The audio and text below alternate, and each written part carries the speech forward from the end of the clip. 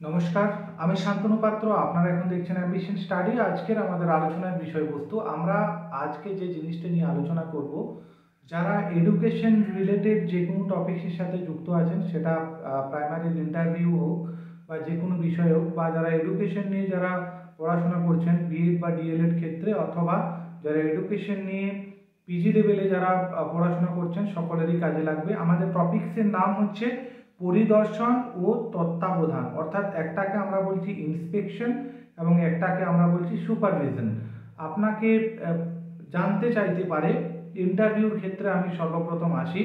আপনাকে পরিদর্শনের বিষয়টা জানতে চাইতে পারে। পরিদর্শনের যে স্তরটা, সেটা আপনাকে মনে রাখতে হবে যে প্রাইমারি স্কুল যেগুলো আছে, সেখানে পরিদর্শন করার প্রধান দায়িত্বে থাকেন? তিনি থাকেন এসআই অফ স্কুল অর্থাৎ সাব ইন্সপেক্টরস অফ স্কুলস আর তিনি সিএলআরসি থেকে সেখানে বিলংস করেন, অর্থাৎ তার অফিসটা হচ্ছে সিএলআরসি এই সিএলআরসিটা হচ্ছে সার্কেল রিসোর্স সেন্টার এবং এই যে এসআইএফ স্কুল তিনি সিএলআরসির দায়িত্বপ্রাপ্ত ছাড়াও আর একটা দায়িত্বে থাকেন, তাকে বলা হয় কোঅর্ডিনেশন তিনি কোঅর্ডিনেট করেন, কাকে কোঅর্ডিনেট করেন? তার সিএলআরসির আন্ডারে যতগুলো স্কুল থাকবে, সমস্ত স্কুলগুলোকে তিনি কোঅর্ডিনেট করেন। অর্থাৎ প্রাথমিকভাবে একটা সিএলআরসির মধ্যে যতগুলো প্রাইমারি স্কুল আছে বা আপার প্রাইমারি স্কুল আছে, সবগুলোকেই কিন্তু তিনি ইন্সপেকশন করতে পারেন। আমি ইন্সপেকশন কথাটা এই কারণেই ব্যবহার করছি যে, এই যে আমরা আজকে ডিফারেন্স করার চেষ্টা করব তোমাদেরকে জিজ্ঞাসা করা হতে পারে যে ইন্টারভিউ টেবিলে আপনি কোন জিনিসটাকে বেশি প্রেফারেন্স করেন? অর্থাৎ আপনি ইন্সপেকশন চাইছেন না সুপারভিশন চাইছেন? এটা জানতে চাইতে পারে। তাহলে আমরা প্রথমে ইন্সপেকশনটা একটু আলোচনা করে নিচ্ছি। আমি প্রথমে একটু সংক্ষিপ্ত আকারে বলছি, যেমন ইনফেকশন হচ্ছে আপনার, আপনি কর্তৃত্ব করতে চাইছেন। অর্থাৎ ধরুন যে আপনি কোনো একটা স্কুলকে ইন্সপেকশন করছেন, তার মানে সেই স্কুলে গিয়ে সরকার যে নীতি নির্ধারণ করেছে সেই নীতি নির্ধারণগুলো সেখানে ঠিকমতো পালন হচ্ছে কিনা, সেই জিনিসটা কিন্তু আপনি সেখানে ইন্সপেকশন করবেন। এবং ইন্সপেকশন করার মধ্যে একটা কর্তৃত্ববাদী মনোভাব থাকবে। অর্থাৎ আপনি যদি স্যাটিসফ্যাকশন না পান সেই স্কুলে গিয়ে, তাহলে সেই স্কুলের যে দায়িত্বে থাকবেন, যে হেডমাস্টার মশাই থাকবেন বা টিআইসি থাকবেন, অর্থাৎ টিচার ইনচার্জ বলা হয়, তাকে কিন্তু আপনি শোকজ করতে পারেন।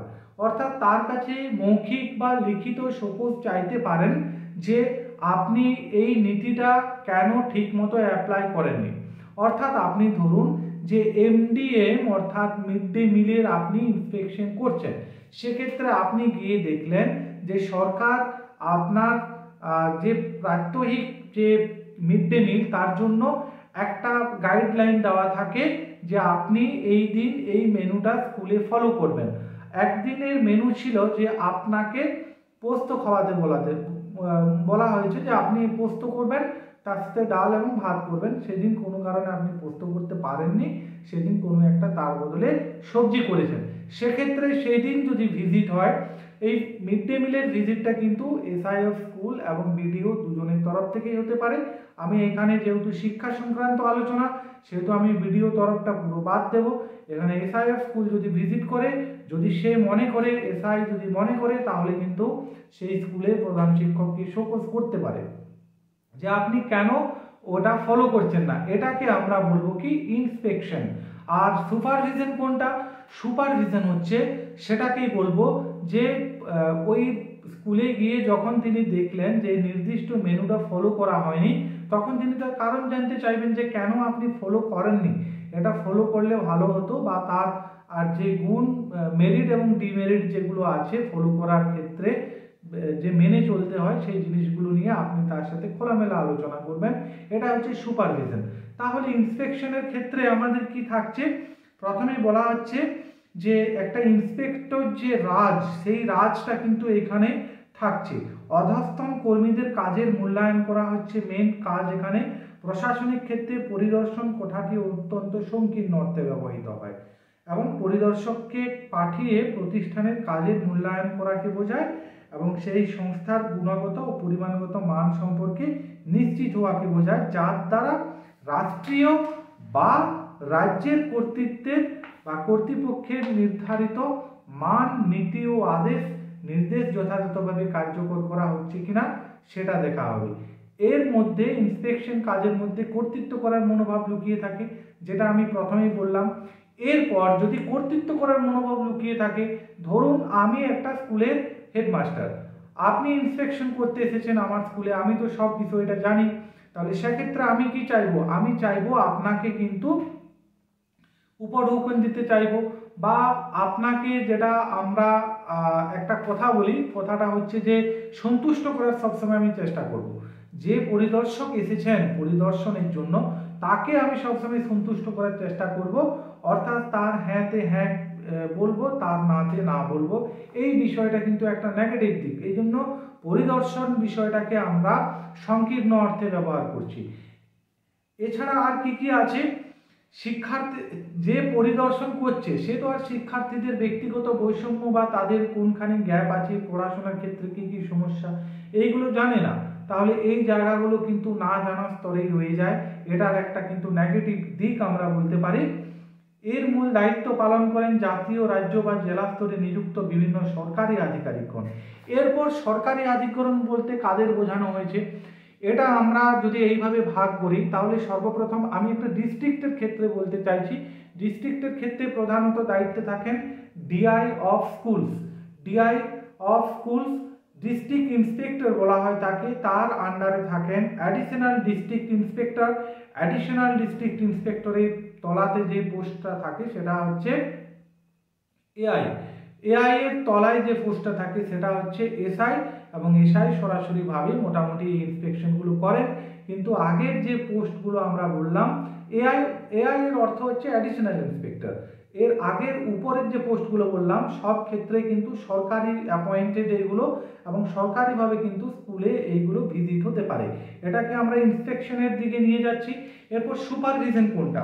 সুপারভিশনটা দেখুন সুপারভিশনটার মধ্যে গণতান্ত্রিক একটা মনোভাব থাকবে, অর্থাৎ ওই যে কর্তৃত্ববাদী মনোভাব বা ভয় পাইয়ে দেওয়ার মনোভাব এটা কিন্তু থাকবে না। গণতান্ত্রিক পদ্ধতিতে কাজ করার সামর্থ্য থাকবে এবং সহযোগিতামূলক কাজ ও আলোচনার মাধ্যমে সুসম্পর্ক স্থাপন থাকবে। বিজ্ঞানসম্মত দৃষ্টিকোণ থেকে পরীক্ষা নিরীক্ষা চালানোর দক্ষতা থাকবে। আন্তরিকতা এবং সমবেদনামূলক একটা মনোভাব থাকবে। দ্রুত সিদ্ধান্ত গ্রহণের ক্ষমতা থাকবে। আর কি থাকবে? গঠনমূলক দৃষ্টিভঙ্গি থাকবে।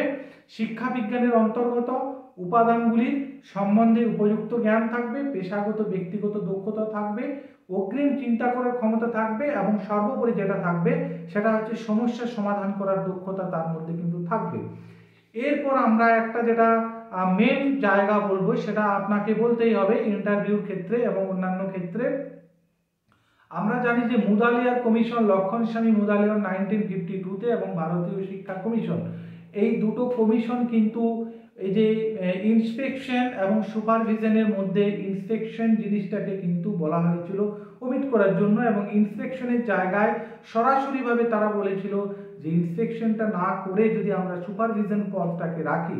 অর্থাৎ একই একই ব্যক্তি কিন্তু ইন্সপেকশন কথাটার মধ্যে যে কর্তৃত্ববাদী যে ক্ষমতাবাদী মনোভাব লুকিয়ে আছে এবং সুপারভিশনের মধ্যে যে গণতান্ত্রিক মনোভাব লুকিয়ে আছে, অর্থাৎ একসাথে কাজ করার যে মনোভাব লুকিয়ে আছে, সেই মনোভাবটা কিন্তু শিক্ষা ব্যবস্থাকে, শিক্ষার যে নির্দিষ্ট লক্ষ্য, সেই লক্ষ্যে কিন্তু পৌঁছাতে আরও বেশিভাবে সাহায্য করবে এবং যদি কর্তৃত্ববাদী মনোভাব থাকে, তাহলে সেক্ষেত্রে যে সমস্যাটা হবে, সেটা হচ্ছে যাকে আপনি কর্তৃত্ব করার চেষ্টা করছেন, তিনি আপনার হ্যাঁতে হ্যাঁ এবং নাতে না মেলাবেন।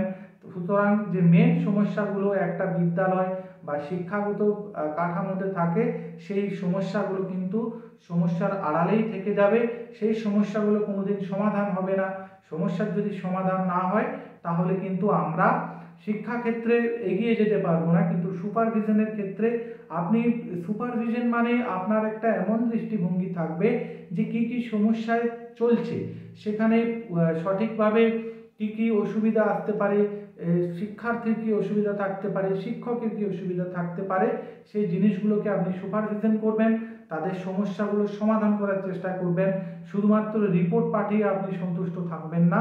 সুতরাং ইন্সপেকশন কখনোই শিক্ষাকে তার কাঙ্ক্ষিত মানে পৌঁছাতে সাহায্য করে না, যেটা কিন্তু সুপারভিশনে করে। এইখানে আমি একটু বলে রাখি যে মুদালিয়ার কমিশন বা ভারতীয় শিক্ষা কমিশন যখন যদিও সুপারভিশনের পক্ষে সওয়াল করেছে, তবু আমরা একটা কথা বলব যে আমাদের ভারতবর্ষের শিক্ষা ব্যবস্থায় কিন্তু সুপারভিশন এখনও সেইভাবে প্রয়োগ হয়নি।